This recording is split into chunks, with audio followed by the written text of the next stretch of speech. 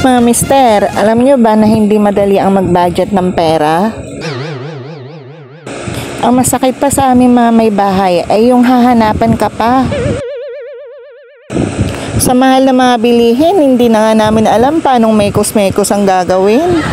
Kaya kadalasan maraming nanay ang napipilitang mangutang at di na lang sa inyo pinaalam. Hindi nyo lang alam na kadalasan ay naiiyak na lang kami at sinasabi sa sarili na try mo kayang ikaw ang mag-budget nang malaman mo gaano kahirap. Kaya naman naming pagtiisan ng lahat, isa lang ang pakiusap namin. Yung huwag niyong ipamukha na kayo ang kumikita ng pera at kami ay walang kwenta, tagabang lang ng ibinibigay niyo na pera. Kasi kaya din naman namin maghanap buhay pero mas pinili namin sa bahay para pagsilbihan ka at mga anak mo. Wow. Kaya sana lagay na hanapan mo ang misis mo. Hindi ba obra na minsan tanungin mo naman siya kung may budget pa ba?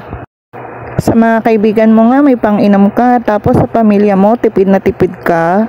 Nai-stress din kaming mga misis ha. Nakakalungkot kaya na pinag-aawayan ng pera, hindi naman kami mga magician.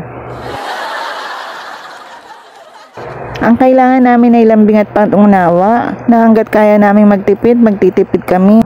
Wala na kaming binibili para sa aming mga sarili, kaya pag nagbigay kayo, wag na kayong maganap, dagdagan mo na lang sabay kiss at yakap.